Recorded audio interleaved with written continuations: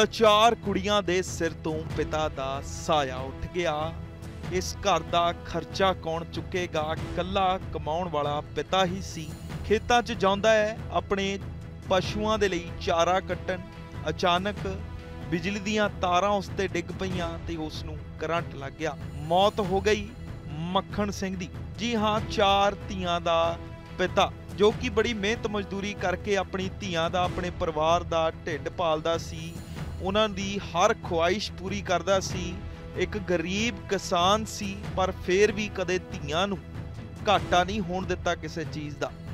ਪਰ ਰੱਬ ਦੇ ਰੰਗ ਨਿਆਰੇ, ਤੁਸੀਂ ਦੇਖੋ ਕਿਵੇਂ ਇਹ ਸ਼ਖਸ ਜਿਸ ਦੀ ਤਸਵੀਰ ਤੁਹਾਨੂੰ ਦਿਖਾ ਰਹੇ ਹਾਂ, ਇਹ ਖੇਤਾਂ ਦੇ ਵਿੱਚ ਚਾਰਾ ਕੱਟਣ ਦੇ ਲਈ ਜਾਂਦਾ ਹੈ। ਉਸੇ ਵੇਲੇ ਤੂਫਾਨ ਆ ਗਿਆ ਸੀ ਤੇ ਤੂਫਾਨ ਆਉਣ ਦੇ ਕਾਰਨ ਖੇਤਾਂ ਦੇ ਵਿੱਚ ਬਿਜਲੀ ਦੀ ਤਾਰ ਡਿੱਗ ਪਈ, ਜਿਸ ਕਰਕੇ ਇਸ ਸ਼ਖਸ ਨੂੰ ਕਰੰਟ ਲੱਗ ਗਿਆ। ਇਸ ਗਰੀਬ ਕਿਸਾਨ ਜਿਸ ਦਾ ਨਾਮ ਮੱਖਣ ਸਿੰਘ ਹੈ, ਉਸ ਨੂੰ ਕਰੰਟ ਲੱਗ ਗਿਆ ਤੇ ਉਸ ਦੀ ਮੌਤ ਹੋ ਗਈ। ਘਰ ਦੇ ਹਾਲਾਤ ਦੇਖੋ ਤੁਸੀਂ ਕਿਹੋ ਜਿਹੇ ਨੇ। ਪਰਿਵਾਰ ਸਰਕਾਰ ਤੋਂ ਮੰਗ ਕਰ ਰਿਹਾ ਏ ਤੇ ਕਈ ਵੱਡੇ ਵੱਡੇ ਜਿਹੜੇ ਆਗੂ ਨੇ, ਜਿਹੜੇ ਦਾਨੀ ਸੱਜਣ ਨੇ, ਉਹਨਾਂ ਤੋਂ ਮੰਗ ਕਰ ਰਿਹਾ ਏ ਕਿ ਇਸ ਪਰਿਵਾਰ ਦੀ ਮਦਦ ਕੀਤੀ ਜਾਵੇ ਤੇ ਇਸ ਪਰਿਵਾਰ ਦੇ ਵਿੱਚ ਜਿਹੜੀਆਂ ਚਾਰ ਧੀਆਂ ਨੇ, ਉਹਨਾਂ ਦੇ ਵਿਆਹ ਦਾ ਖਰਚਾ ਕੋਈ ਵੱਡਾ ਤਨਾੜ ਜਾਂ ਵੱਡੇ ਦਿਲ ਵਾਲਾ ਚੁੱਕ ਲਵੇ। ਆਓ ਪਿੰਡ ਵਾਲਿਆਂ ਦਾ ਕੀ ਕਹਿਣਾ ਹੈ? ਕਿਵੇਂ ਪਿੰਡ ਵਾਲੇ ਪਰਿਵਾਰ ਦੇ ਨਾਲ ਖੜੇ ਨੇ? ਮੰਗ ਸਾਡੀ ਸਾਡੀ ਹੋਈ ਹੈ ਵੀ ਪੱਠਿਆਂ ਨੂੰ ਗਏ ਨੇ ਤੇ ਦਿਹਾੜੀਦਾਰ ਬੰਦੇ ਨੇ, ਤੇ ਪੱਠਿਆਂ ਨੂੰ ਗਏ ਨੇ ਤਾਰ ਟੁੱਟੀ ਪਰਸਨ ਨਦੀ ਵਗੀ ਹੈ, ਤੇ ਤਾਰ ਟੁੱਟੀ ਕਰਕੇ ਬਿਜਲੀ ਦੇ ਵਾਲਿਆਂ ਨੇ ਨਿਕਲੀ ਹੈ, ਉਹਨਾਂ ਨੇ ਦੇਖਭਾਲ ਨਹੀਂ ਕੀਤੀ, ਤੇ ਅਚਾਨਕ ਤਾਰ ਟੱਚ ਹੋਈ ਇਹਨਾਂ ਨੂੰ, ਤੇ ਇਹਨਾਂ ਦੀ ਡੈਥ ਹੋ ਗਈ ਉੱਥੇ। ਗਰੀਬ ਪਰਿਵਾਰ ਹੈ, ਚਾਰ ਬੇਟੀਆਂ ਨੇ ਘਰ ਦੀ ਮਾਲੀ ਹਾਲਤ ਡਾਊਨ ਆ। ਇਹਨਾਂ ਦੀ ਜੋ ਸਰਕਾਰ ਨੂੰ ਬਣਦੀ ਹੈ ਸਾਡੀ ਖਵਾਸ ਹੋਈ ਹੈ ਸਰਕਾਰ ਅੱਗੇ ਵੀ ਜੋ ਬਣਦੀ ਕਰ ਰਹੀ ਉਹ ਹੀ ਕੀਤੀ ਜਾਵੇ ਤੇ ਜੇ ਉਹ ਇਹਨਾਂ ਨੂੰ ਬਣਦਾ ਮੁਆਵਜ਼ਾ, ਉਹ ਵੀ ਲੋੜ ਤੋਂ ਵੱਧ ਦਿੱਤਾ ਜਾਵੇ। ਮੱਖਣ ਸਿੰਘ ਹੁਣੇ ਸਵੇਰੇ ਕੋਈ 10 ਕੁ ਵਜੇ ਨਾਲ ਪੱਠੇ ਲੈਣ ਗਏ ਨੇ। ਤੇ ਜਿਸ ਜਗ੍ਹਾ ਤੇ ਪੱਠੇ ਲੈਣ ਗਏ ਨੇ, ਉਸ ਜਗ੍ਹਾ ਦੇ ਵਿੱਚ, ਕਮਾਦ ਦੇ ਵਿੱਚ ਬਿਜਲੀ ਦੀਆਂ ਤਾਰਾਂ ਟੁੱਟ ਕੇ ਜ਼ਮੀਨ ਨਾਲ ਟਕਰਾਈਆਂ ਹੋਈਆਂ ਸਨ।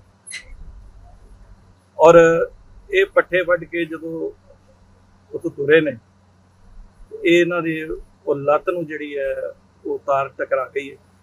ਜਿਹਦੇ ਕਰਕੇ ਇਹ ਉਹਨਾਂ ਨੇ ਕੋਈ ਜਦੋਂ ਜੈਦ ਉੱਥੇ ਕੀਤੀ ਛਡਾਉਣ ਦੀ, ਪਰ ਨਹੀਂ, ਇਹ ਉਸ ਤਾਰ ਦੇ ਉੱਤੇ ਕਿਤੇ ਉੱਥੇ ਹੀ ਡਿੱਗ ਪਏ ਨੇ। ਜਿਹਦੇ ਕਰਕੇ ਇਹ ਐਡਾ ਵੱਡਾ ਹਾਦਸਾ ਵਾਪਰ ਗਿਆ। ਸੋ ਇਹ ਉਸਤਾਰ ਬਿਜਲੀ ਦੀ ਤਾਰ ਕਰਕੇ ਹੀ ਸਾਰਾ ਜਿਹੜਾ ਇਹ ਕਰੰਟ ਲੱਗਾ ਹੈ ਸਰ ਇੱਕ ਕੌਣ ਕੌਣ ਹੈ ਪਰਿਵਾਰ ਵਿੱਚ? ਪਰਿਵਾਰ ਦੇ ਵਿੱਚ ਜੀ ਚਾਰ ਬੇਟੀਆਂ ਨੇ। ਇੱਕ ਬੇਟਾ ਹੈ ਉਹ ਵੀ ਅਨਮੈਰਿਡ ਹੈ।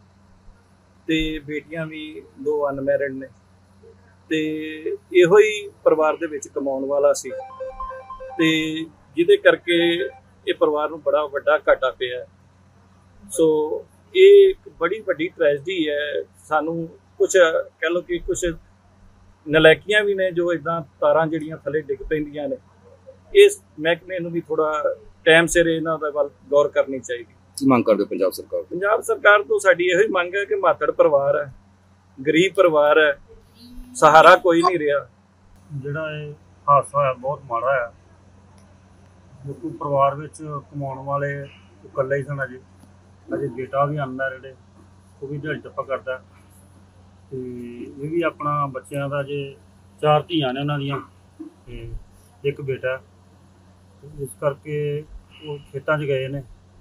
ਉੱਥੇ ਤਾਰ ਖੰਭੇ ਤੋਂ ਡਿੱਗੀ। ਉਹਦੇ ਨਾਲ ਉਹਨਾਂ ਦੇ ਮਤਲਬ ਲੱਤ ਨੂੰ ਕਰੰਟ ਲੱਗਾ। ਹੈ। ਤੇ ਉੱਥੇ ਹੀ ਉਹਨਾਂ ਦੀ ਡੈਥ ਹੋ ਗਈ ਕਰੰਟ ਨਾਲ। ਇਸ ਕਰਕੇ ਅਸੀਂ ਤੇ ਸਰਕਾਰ ਕੋਲ ਇਹੀ ਮੰਗ ਕਰਦੇ ਹਾਂ। ਗਰੀਬ ਪਰਿਵਾਰ ਹੈ। ਜੋ ਮਜ਼ਦੂਰਾਂ ਕਿਸਾਨਾਂ ਵਾਸਤੇ ਸਰਕਾਰ ਵੱਲੋਂ ਜੋ ਵੀ ਵੱਧ ਤੋਂ ਵੱਧ ਸਹਾਇਤਾ ਮਿਲਦੀ ਹੈ ਇਸ ਪਰਿਵਾਰ ਨੂੰ ਦਿੱਤੀ ਜਾਵੇ। ਤਾਂ ਜੋ ਪਾਲਣ ਪੋਸ਼ਣ ਬਾਅਦ ਚ ਜੋ ਬੱਚਿਆਂ ਦੀ ਮਾਤਾ ਹੈ, ਉਹਨਾਂ ਦੀ ਘਰ ਦੀ ਹੈ ਮੱਖਣ ਸਿੰਘ ਦੀ ਤੇ ਉਹ ਇਸ ਕਰਕੇ ਉਹਨਾਂ ਦਾ ਪਾਲਣ ਪੋਸ਼ਣ ਜਾਂ ਸਾਡੀ ਉਹਨਾਂ ਦੀ ਵਿਆਹ ਕਰਨਾ ਹੈ, ਤੇ ਉਹ ਵਧੀਆ ਢੰਗ ਨਾਲ ਕਰ ਸਕਣ। ਸਾਡੀ ਸਰਕਾਰ ਨੂੰ ਇਹ ਵੀ